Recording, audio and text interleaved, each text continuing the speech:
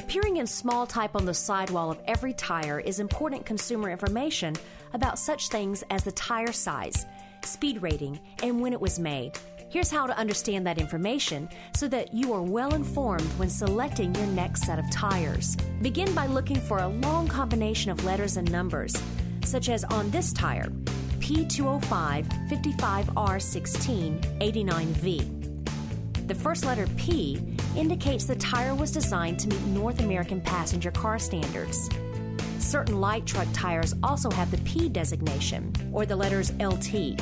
If there are no letters at the beginning, it means the tire is Eurometric or designed to European standards.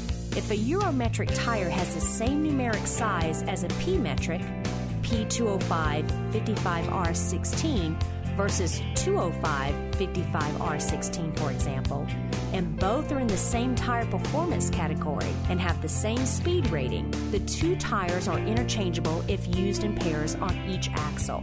Eurometric and P metric tires in the same size are equivalent in their dimensions. But check the load index. There may be slight differences in their load capacity calculations, especially if the aspect ratio is 40 or lower.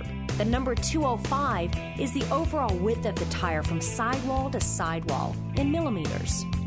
After the slash mark, the next number in this case, 55, indicates the height of the tire from the bead to the tread. It is called the aspect ratio because it is a calculation of the sidewall height as a percentage of the overall width.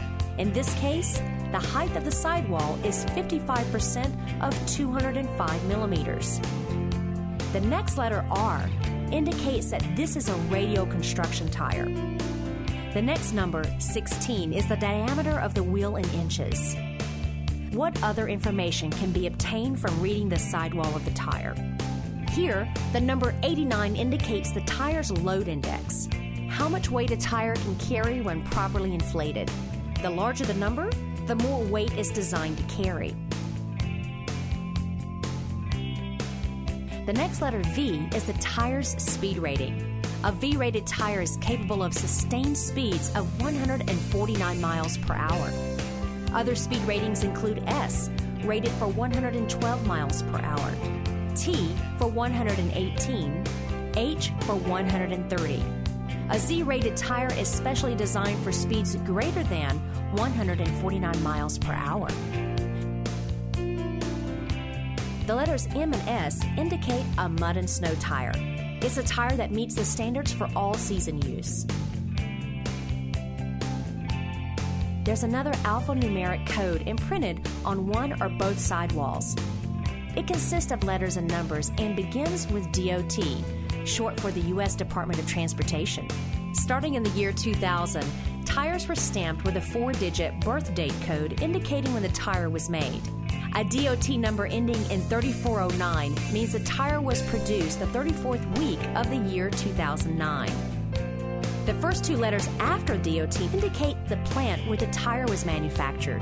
Now, let's talk about something called the Uniform Tire Quality Grading, the UTQG. It's a federal law that requires tire manufacturers to grade their own tires for tread wear, traction, and temperature resistance. The law was designed to help consumers make general comparisons between tires. The Uniform Tire Quality Grade is shown as numbers or letters after the words tread wear, traction, and temperature. The treadwear number is a percentage of a baseline tire graded at 100 points. A tire marked 300 is graded to have three times the tread wear life as one graded 100. The traction rating comes from a straight line grip test on wet pavement. The highest grade AA is best, followed by A, B, then C. Temperature indicates the tire's resistance to heat generated by running at high speed. A is best, followed by B, then C. Now that you've learned how to read the sidewall of your tires, you have the knowledge necessary to discuss the choice of the right tire with your authorized tire dealer.